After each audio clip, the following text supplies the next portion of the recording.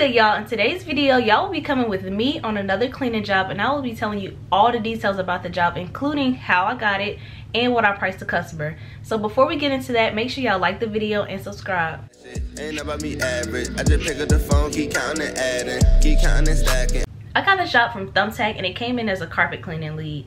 Now the customer was looking to get one room clean and added on a flight of stairs to get clean.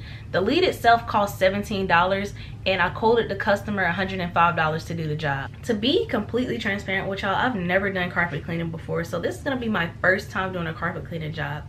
I also don't have none of the equipment to get the job done so I do need to go to Walmart to pick that stuff up and anything that I might need to get the job done also i'm still figuring out pricing again because i've never done carpet cleaning before so i'm trying to experiment with pricing and see what works and what doesn't what's too much and what's too little so hopefully 105 is a good quote to get this job done uh, but we'll see Gotta get her the best equipment.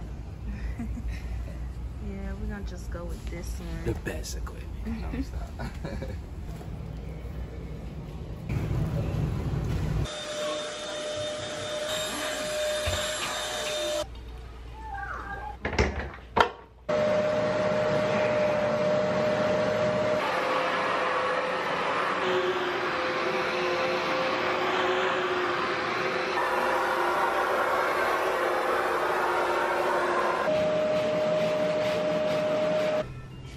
job took me three hours to complete, which I do believe is a long time just for one room and stairs. But being that this was my first carpet cleaning job, I think I was focusing on trying to be like almost perfect and make sure that the customer was happy.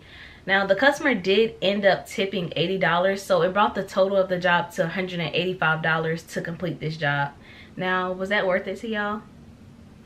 I don't know, I think so. But that's all I have for y'all in today's video. If you enjoyed it and gained any value whatsoever, make sure you like this video and subscribe. And as always, see y'all at the top. Ain't about me average. I just pick up the phone, keep counting and adding, keep counting and stacking. I made the money appear like this shit was some magic. Stay down, big rage, and one day you might get the key to the action. When I walk in the store, they gon' show me some love.